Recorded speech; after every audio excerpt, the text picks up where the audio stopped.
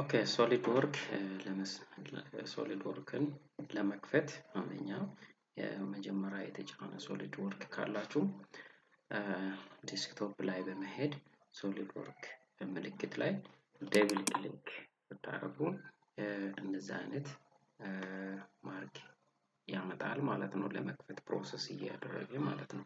already እኔ የተከፈተ ስላለ እሱ ላይ እኔ ስከፍት ይሄንን window ያመጣል። ከዛ ውስጥ አዲስ drawing ለመጀመር ምንድነው የመጀመሪያ step የምናደርገው? ፋይል የምትለዋለች እቺ ጥግ ላይ cursor ኡን የ cursor ኡን point እየተከታተላችሁ more understand ለማድረግ ከፈለጋችሁ፣ ስለዚህ ፋይል የምትለዋ ላይ click ስናደርግ መጀመሪያ ላይ new የምትላለች ወይንም keyboard ለምንጠቀም control plus N ን አንድ ላይ ስንጫነው ወይም ፕሬስ ስናደርገው already የሶስት የ drawing አማራጮችን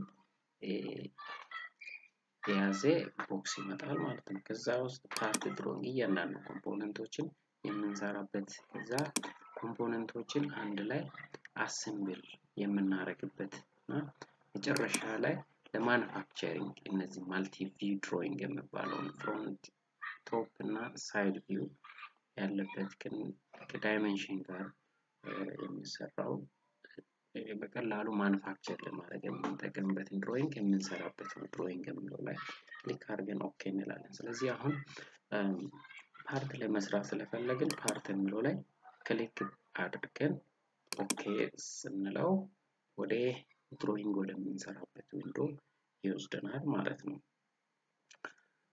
ስለዚህ እዚህ ላይ የተለያየ አይነት feature ኦች አሉት። ለምሳሌ ከዛ በፊት drawing ከመጀመራችን በፊት plane ኦችን መምረጥ አለብን። plane ኦችን ስንመርጥ plane ኦቹ ለ drawing ምቹ የሆነውን plane መምረጥ አለብን። ለምሳሌ ሶስት plane ኦች አሉ። እነዚህ ውስጥ ምቹ የሆነን select እናደርጋለን ማለት ነው። በዚህ select አድርገን አንዱን plane ለምሳሌ front ን select ሲያደርግ ትንሽዬ box ትመጣለች። እዛች አካባቢ ላይ አራት feature ኦችን በውስጡ የያዘች sketch፣ show፣ zoom to selection እና normal to የምል ማለት ነው። ከዛ ውስጥ drawing መስራት ስለፈለግኩኝ drawing የምለው ላይ click ሲያደርግ plane ኡን ለ drawing አመቺ በሆነ መንገድ ያስቀምጥልኛል ማለት ነው።